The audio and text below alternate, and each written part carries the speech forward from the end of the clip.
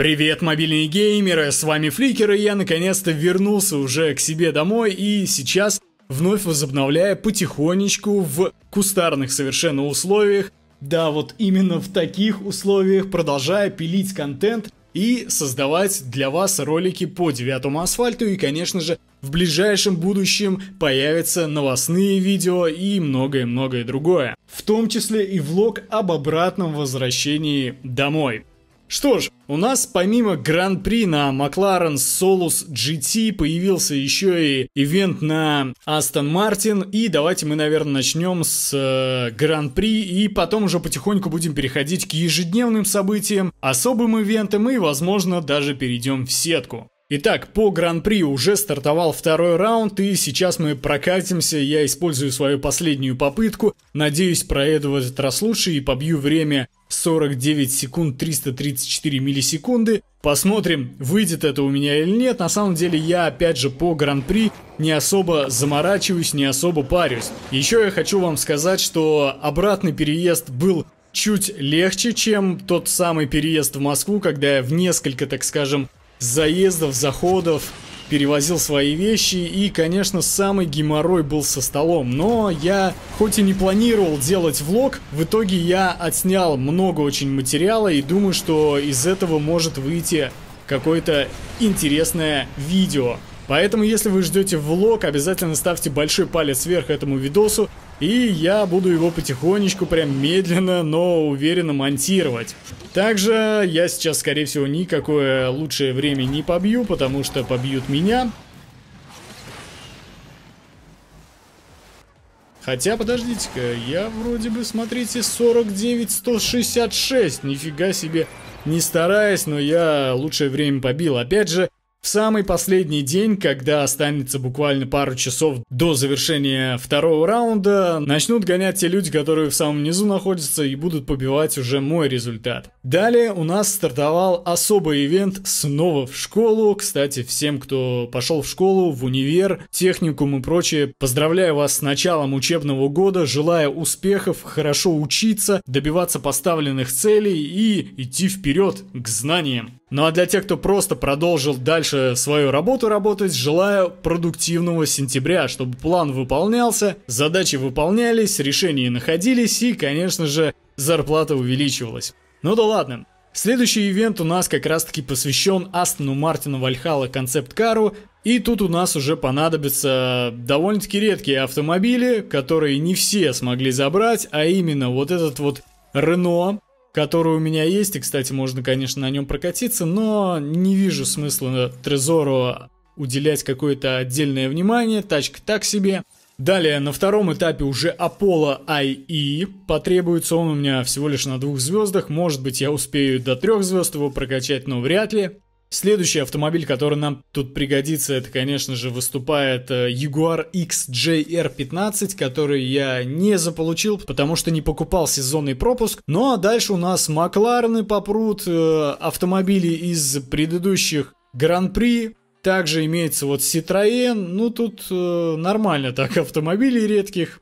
По наградам 3, 6, 9, 13 жетонов вот этого Астона Мартина Вальхала мы заберем из э, условий. Ну и, конечно же, сколько-то жетонов мы сможем э, вместе с зелеными жетонами забрать из э, этапов, где нужно как раз-таки прокатиться на вот этом Вальхала концепт-каре. Заострять внимание на этом ивенте не вижу смысла. Далее перейдем к Сайлину S7 Twin Turbo. Здесь, к сожалению, у меня все грустно, печально, потому что мои возможности, так скажем, ограничены. У меня нету Jaguar XJR15 или, например, прокачанного до двух звезд Брепхама BT62 то тогда, конечно, я бы смог еще какое-то количество условий выполнить и открыть следующий четвертый этап, где уже прокатиться на Peugeot 9 на 8. Увы, грусть, печаль, разочарование, этот ивент для меня очень быстро закончился, аж на третьем этапе. Далее ивент, который довольно-таки неплохо прошел у меня, я практически все условия выполнил. Сейчас давайте вот прокатимся здесь и хочется на самом деле разобрать что же такое идеальный заезд? И давайте мы стартанем, тут как раз на Lamborghini SC18 прокатимся. Она у меня прокачана до 4 звезд, но, к сожалению, ключа от данного авто у меня нет. Прокатимся просто на ней, и я вам расскажу, что такое идеальный заезд, а точнее, как я его понимаю. Я очень долго мучился с этими идеальными заездами, потому что они у меня не выполнялись, и я думаю, да в чем проблема-то? Что же не так я делаю? Итак, как я понял, вы можете меня поправить. Идеальный заезд это когда мы в самом начале стараемся не врезаться ни в какие ограждения, стенки, не собирать вот эти стоящие автомобили, не врезаться в соперников, а очень-очень аккуратно вот проезжать. Можно, конечно, делать вот так вот. Но самый важный момент, который здесь нужен, это не задевать стенки и соперников именно в начале. И вот если даже он меня сзади там догонит, и если вдруг, не дай бог, заденет, то все, идеальный заезд у вас уже будет просран. Опять же, если вдруг Жека или Олег смотрят данный ролик, подтвердите эту информацию, так оно или нет. Но я очень долго пытался эти идеальные заезды сделать, и у меня практически никогда этого не получалось. Вот даже сейчас я несколько раз эту стеночку Задел, скорее всего, идеальный заезд я ни один не сделаю. Но, как я опять же понял, в самом начале, если вы очень аккуратно ездите, ничего не задеваете, то шансы на выполнение этой миссии, да, как вы видите, имеются. Вот никогда особо раньше не обращал на это внимания, они как-то эти идеальные заезды выполнялись сами. И, естественно, вне видео, когда я еще раз проеду там, то заберу 4 чертежа Lamborghini SC18. Также Переходим мы уже непосредственно в ежедневные ивенты. Здесь много всего появилось, на чем мы можем прокатиться что мы можем вообще посмотреть. И, конечно же, начнем мы с вот этого ивента. Отдельные награды у меня здесь все выполнены, да? А, тут у нас BXR, BXR не столь интересен. По-моему, вот тут у нас Макларены. Да, два чертежа я уже сено забрал. Здесь у нас предоставляются полностью прокачанные авто, и мне, конечно же, интересен Макларен Solus GT, на котором мы гоняли в самом начале в Гран-при и хочется его процветать именно в максималке. Относится он к B-классу, ускорение 89, 335 максималка, управляемость 83 и нитро, то есть это бомбическая тачка должна быть. И хочется как раз ее показать вам во всей красе и посмотреть, насколько хорошо она справляется с поворотами, как сильно теряет скорость, как быстро набирает скорость и, конечно же, какая у нее максималка. Будет ли она уделывать тот же Хуракан, что вряд ли, мне кажется, в сеточке. Тут у нас еще, кстати, да, Слипстрим. Итак, 349 у нее максималка. Довольно-таки неплохо держит нитро. Давайте мы немножечко подрифтим. Ну, в дрифте, конечно, она сбавляет душевненько но быстро достаточно набирает за счет своего сумасшедшего, я бы сказал, ускорения. В будущем может появиться что-то покруче, но 89, по-моему, для Б-класса это прям вообще самый самолет, и это самое высокое значение акселерометра, так называемого.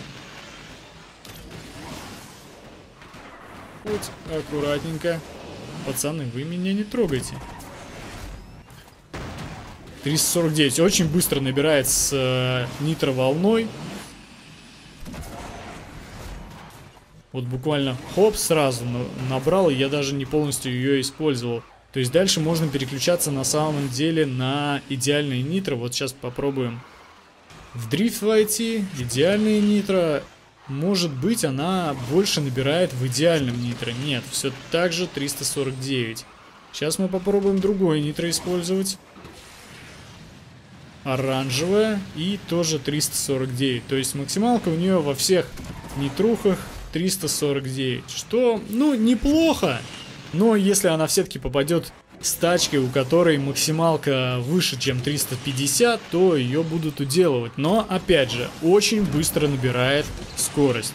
Этот автомобиль однозначно за это ему Лукас. Я бы, может, даже немножечко помучился и все-таки забрал этот автомобиль из Гран-при. Пишите свои мысли в комментариях, как вам данный автомобиль. Далее у нас появилась охота за Chevrolet Corvette C7R. Этот автомобиль мне очень нравится и думаю, что у меня получится его прокачать на все 5 звезд и, конечно же, забрать. Нам понадобится, значит, Mazda Фурой и Bentley Continental, от которого у меня, к сожалению, ключа нету, поэтому мне придется здесь прям задрить, чтобы набить нужное количество фрагментов, прокачать авто до 5 звезд и, конечно же, забрать в итоге ключ. Очень хочу ключик забрать, и вообще тачка мне очень нравится. Этот корветик прям сзади великолепно выглядит за счет всех своих кузовов широких и спойлеров. Мне тачка прям нравится. По характеристикам я, честно говоря, не помню. После этой гонки мы пройдем, посмотрим, и я свой вердикт скажу. Она, насколько я помню, очень старая, давненько в каком-то гран-при была. Причем это гран-при, по-моему, несколько раз проводилось.